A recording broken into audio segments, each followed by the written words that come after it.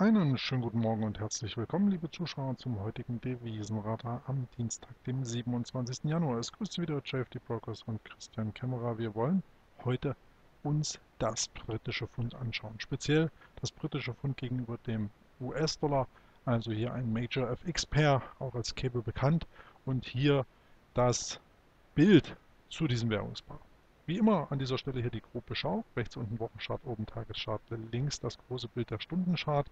Und da wird es heute auch noch sehr interessant werden vor dem Hintergrund, dass wir heute, ich bringe gerade mal die News-Site hier ins Bild, dass wir heute hier einiges aus England zu erwarten haben. Wir sehen hier 10.30 Uhr, immer eine sehr, sehr bekannte Zeit, ähm, die Zeit des britischen Pfunds sozusagen, meistens Dienstag, Mittwochs oder Donnerstags, immer auf 10.30 Uhr achten, wenn denn News oder Daten aus England kommen, dann um diese Zeit. Und da wird es auch immer recht volatil bei diesem Währungspaar. Und wir sehen eben heute hier die Veröffentlichung zum Bruttoinlandsprodukt des vierten Quartals und hier eben die erste Veröffentlichung. Hier die Erwartungstendenzen, Prognosen, wir wollen mal sehen, was dabei rauskommt. Hinzu kommt noch ein Dienstleistungsindex und Immobiliendaten. Also heute hier definitiv ein Cocktail, der das britische Pfund in Wallung bringen dürfte. Wir werden dazu auch nachher noch eine JFD Live Trading TV Sendung machen, kurz vor Beginn, also kurz vor 10.30 Uhr starten wir, um uns dann praktisch die Bewegungen angeknüpft an das jetzige Devisenradar genauer anzuschauen. Da fangen wir hier eben jetzt mit dem großen Bild an, um erstmal die Lagebeurteilung sozusagen vorzunehmen. Wir wissen, das britische Pfund geriet im Zuge der Finanzmarktkrise erheblich unter Druck. Dann führte letztlich hier eine relativ große, ausgedehnte Seitwärtsrange zu einem fast schon langweiligen Verhalten hier auf Wochenbasis wohl bemerkt.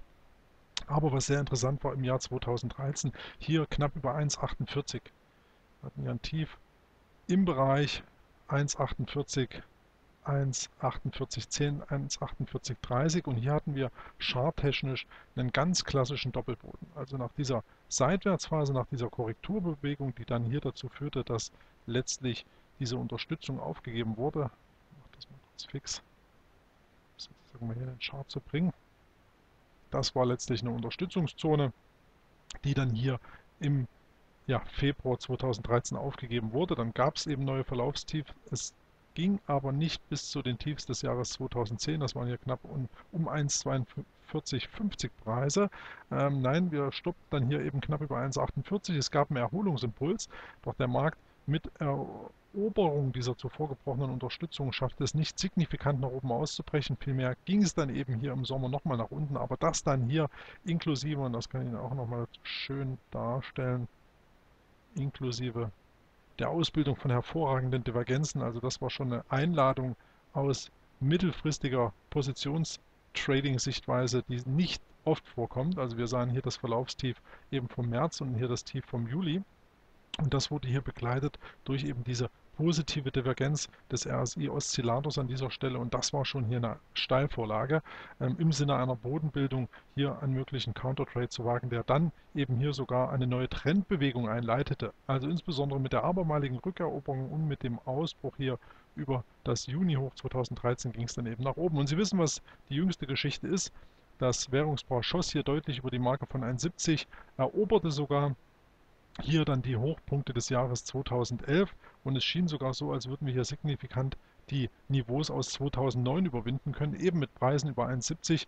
Doch dann wurde hier die Politik oder die Annahme einer früheren Leitzinserhöhung aus den USA und eben dann auch noch konkurrierende Wirtschaftsdaten ähm, oder diese führten dann vielmehr dazu, dass eben die Fantasie aus dem britischen Pfund rausging, ähm, hier auch die Notenbank dann zurückruderte sukzessive und was war die Konsequenz? Hier im Zuge dann auch eines erstarkenden US-Dollars geriet das britische Pfund deutlich unter Druck. Jetzt die Lage hier gerade auf Wochenbasis aus dem großen Bild hier sehr interessant, da wir uns eben jetzt hier diesen Unterstützungsbereich 1,48 enorm annähern. Und das ist ein Level, aufgepasst, wenn wir hier hinlaufen in dem Bereich knapp über 1,48, 1,49, 1,48 hier in dieser Zone, da gilt es dann aufzupassen, wie das Währungspaar sich verhält. Eine Stabilisierung in diesem Bereich ist nicht ähm, untypisch oder würde mich auch nicht überraschen. Nach dieser starken Korrektur wäre das hier definitiv ein Level, wo der Markt hier eine Bodenbildung erfahren könnte. Doch Sie sehen auch hier im Gegensatz zu den Tendenzen im Jahr 2013, wir sind zwar hier in einem deutlich überverkauften Bereich, aber diese starke Abwärtsdynamik sagt eben auch hier, dass hier eine enorm ähm, ausgerichtete Trendbewegung gen Süden stattfindet und wenn ein Wert mal überverkauft ist, gerade in einem starken Trendimpuls, dann kann der das auch über Monate oder sogar Jahre bleiben. Also das hat dann nichts zu bedeuten, wenn wir hier im überverkauften Bereich sind.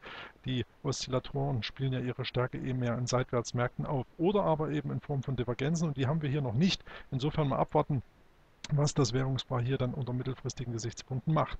Das mal die Beschau auf Wochenbasis, Tagesbasis ja tiefere Tiefs und tiefere Hochs. Wir sehen hier eine Sequenz an ganz, ganz sauberen Abwärtsimpulsen. Das können wir auch hier dann mal ohne viel Schnörkel mal mit dem Rainbow untermauern. Da sehen Sie die klassische Rainbow-Tendenz mega bärisch ausgerichtet. Und sofern es jetzt hier Erholung auf Tagesbasis geben sollte, würde sich hier oben zum Beispiel dieser Bereich um 1,52, 1,5250 anbieten.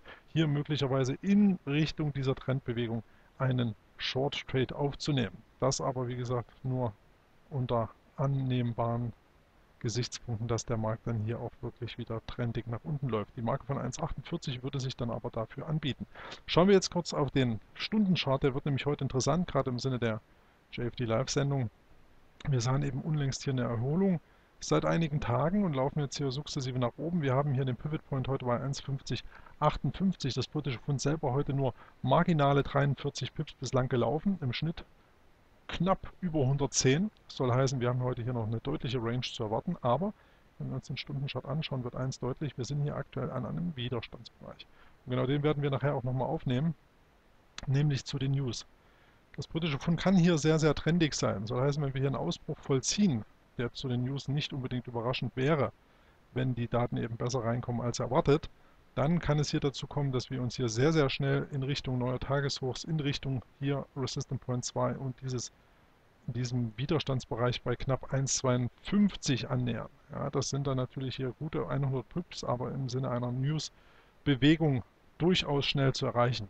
Aufpassen, wie gesagt, hier auf dieses Widerstandslevel. Ich lege das mal um den Bereich 1,5110, 1,5115 fest. Das wird, wie gesagt, für heute sehr, sehr interessant werden. Wir haben hier kurzfristig einen Aufwärtstrend. Sollte es keinen Ausbruch nach oben geben, dann gilt es hier auf den Pivot Point inklusive dieser Aufwärtstrendlinie zu achten. Gehen wir drunter, also hier signifikante Preise unter 1,5058, da kann man dann sogar schon einen Stundenschluss unter 1,5050 nehmen, dann wäre die Trendlinie auch durch. Ähm, dann sollte man sich hier an den Support Levels orientieren und dann wären eben auch die jüngsten Verlaufstiefs, die jüngsten Mehrjahrestiefs durchaus wieder interessant für eine Abwärtsbewegung. Das mal zum britischen Pfund gegenüber dem US-Dollar. Die Tagestendenz heute will ich Ihnen nicht vorenthalten. Wir haben Dienstag und dieser spricht statistisch entgegen hier Donnerstag und Freitag, ganz, ganz signifikant für eine der letzten 52 Handelswochen, für einen positiven Tag, für eine positive Tendenz. 55% positive Schlusspreise deckt sich auch, und jetzt kommt es mit dieser heutigen Fuzzi-Vektorlogik. Auch hier wird angezeigt, dass wir hier 1,5050 war ein Key-Level. Wenn wir hier zu den News kurz anbrechen und nicht signifikant runterfallen sollten, also hier diese Aufwärtstrendlinie, ich hole nochmal den Stundenchart direkt drauf, hier 1,5050. Wenn es einen Test dieser Linie gibt, die Fuzzi-Logik sagt, in Anführungszeichen voraus, wenn wir hier einen Touchdown machen, dass dann hier eine Erholungsbewegung kommen könnte. Das heißt, hier zu den News, das ist der Stundenchart, hier diese Bars sind auf Stundenbasis, äh, dürfte hier einen kurzen Impuls nach unten geben, aber dann Überraschung nach oben und das wäre hier eine sehr, sehr schöne Situation, um hier in den Markt einzusteigen, um hier den Countertrend ähm, im Sinne dieses großen Abwärtsimpulses nach oben einfach mal zu reiten. Schöne Erholungsfortsetzung seit hier den Tiefs vom 23. Januar. Die Fuzzi-Logik zeigt uns hier aber sehr, sehr schön auf, dass es hier durchaus weiter nach oben gehen könnte. Nach einem neuen Tagestief. Spannende Situation. Das schauen wir uns aber wie gesagt in knapp 40 Minuten, 50 Minuten an. Wir werden kurz vor 10.30 Uhr online gehen und dann das Live-Geschehen uns widmen und mal sehen, was sich da für Chancen bieten. Insofern, liebe Zuschauer, würde ich mich freuen, wenn Sie nachher nochmal einschalten bei JFD Live Trading TV. Wie gesagt, der Streampost folgt zeitgerecht und bis dahin verbleibe ich jetzt erstmal mit den besten Grüßen und wünsche Ihnen noch eine gute Zeit. Bis dahin, Ihr Christian Kimmer.